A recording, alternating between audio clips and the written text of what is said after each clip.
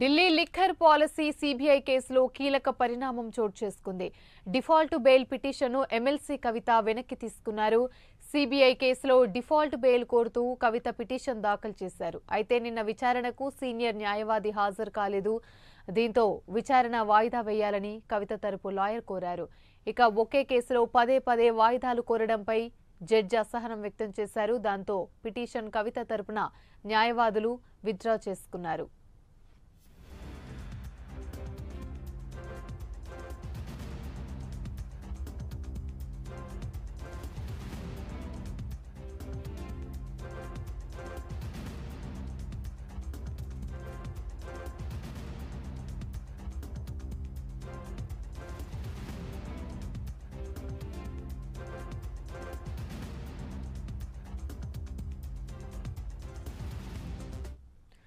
Right ఇదే అంశానికి సంబంధించి మరిన్ని వివరాలు మా ఏపీ ఇన్పుట్ ఎడిటర్ టీవీరావు అందిస్తారు. టీవీరావు చెప్పండి. Yamini good morning. Delhi liquor scams కేసులో కవిత డిఫాల్ట్ బెయిల్ పిటిషన్ని రద్దు చేసుకుంది విరమించుకుంది. మరి ఈ కేసుకు సంబంధించి ఆల్రెడీ ఇప్పటికే సిబిఐ దూకుడుగా వ్యవహరిస్తోంది. ఏదైతే సిబిఐ చార్జ్ సిబిఐ కోర్టులో దాఖలు చేసినటువంటి చార్జ్ షీట్లో పూర్తి స్థాయిలో దర్యాప్తు జరపకుండానే దీనిలో కొన్ని అంశాలను జోడించారు. అయితే ఈ ఇదంతా తప్పులు తడకగా ఉందని బెయిల్ పిటిషన్ కోర్టులో దాఖలు చేసిన నేపథ్యంలో ఈ బెయిల్ పిటిషన్లో దీనిపై విచారిస్తే శిక్ష పడుతుందని నిర్ధారించుకున్నటువంటి కవిత దీన్ని అయితే దీనిపై విచారణ మళ్ళీ పునర్విచారణ జరపాలి అనే విధంగా కోర్టులో బెయిల్ పిటిషన్ ఏదైతే పిటిషన్ దాఖలు చేశారు.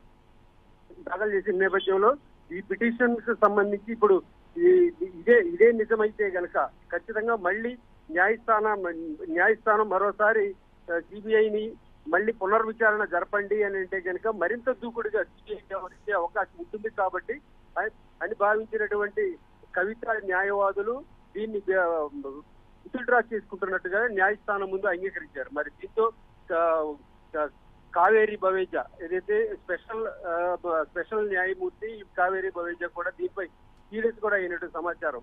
బెయిల్ పిటిషన్ వేశారు. దాదాపుగా నెల రోజుల క్రితం ఈ పిటిషన్ వేసిన తర్వాత మళ్ళీ ఇప్పుడు ఈ నిర్ణయం తీసుకోవాల్సినంత అగత్యం ఏం ఏర్పడింది అనే విధంగా కూడా జడ్జి సీరియస్ అయినట్టుగా సమాచారం. మరైతే ఈ మొత్తం వ్యవహారానికి సంబంధించి ఏదైతే సిబిఐని అనవసరంగా గెలికి మరింతగా బుక్ అవ్వడమే అనేటటువంటిది భావించినటువంటి కవిత ఈ విషయంలో వెనకంజి వేసింది. వెనకంజి వేసి డిఫాల్ట్ బెయిల్ పిటిషన్ వెనక్కి తీసేసుకుంది. ఇక- ఇక దీనికి సంబంధించి ఉత్తరత్తర పరిణామాలు ఎలా ఉంటాయనే దానిపై ఇంకా వేచి చూడాల్సి ఉంది. అంతేకాకుండా ఇప్పుడు ఏదైతే విచారణ దిశగా వెళ్తుంది ఏదైతే ఇండో స్పిరిట్ దగ్గర కిడ్ బ్యాగ్స్ భారీగా ముడుపులు అంద చేతికి ముట్టాయనేటువంటి ఆరోపణల మీద ఈ కేసు సీరియస్గా ముందుకు నడుస్తుంది.